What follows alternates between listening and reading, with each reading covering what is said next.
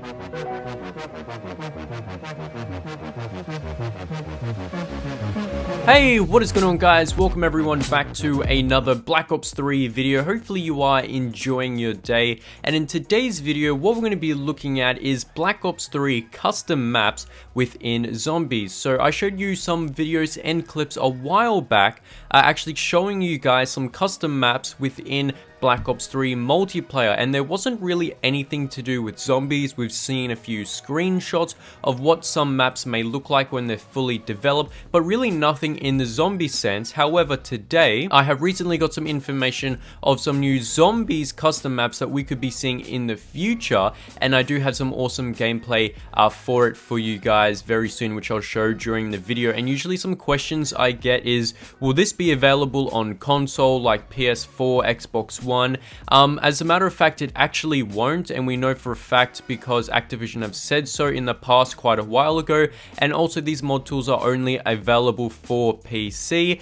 and World at War zombies have been around for a while, tons of people can mod that and make their own custom maps, but if this was available to consoles, I think DLC wouldn't be that much relevant to Activision, because they wouldn't be making too much money, and as you know, everyone would just be getting custom maps, and I suppose that's one of the main reasons behind it. But taking a look at the gameplay, as you guys can see on the screen, this is from Hugo, one of the custom map designers within zombies and of course multiplayer maps. And as you can tell within this zombie map, it's called Project X23. Um, it kind of looks like an outside farm area, but as soon as he goes inside, it goes a little bit different. But more or less, this isn't the full final uh, zombies map he's made. It's kind of like a little demo or a teaser of what this custom map will be. He also did a little demo a few days ago. A lot of YouTubers were showing that video as well, but to me, I don't feel like showing you guys something that isn't too interesting. Whereas this gameplay here looks a bit more developed. He's got textures of like shovels, of grass, of lily pads, of tons of random textures in the game as well, making it seem awesome. And uh, more or less, when you get down the video, you can see him walking through different uh, tunnels, pipes, and all that jazz, and opening up different doors which cost money. So to be honest, it won't be a long time before we see more and more custom maps. And of course, when these do fully get developed, uh, instead of custom maps, we're going to be seeing a lot of Black Ops 3 our zombie YouTubers playing these custom maps. And I can't wait because they look really awesome. And as you can tell with the graphics, they look a million times better than what it normally does within Black Ops 2 and World at War. But it's not really usually the game that makes better custom zombie maps. It's the creator itself who can make it. And given that Activision are putting through a lot more mod tools, giving these creators more support, to me it kind of looks like they'll be able to create even better maps and in the future we could be possibly seeing this type of stuff uh, during consoles but I'm not too sure. Another question I see arise a lot is will there be mod tools in Infinite Warfare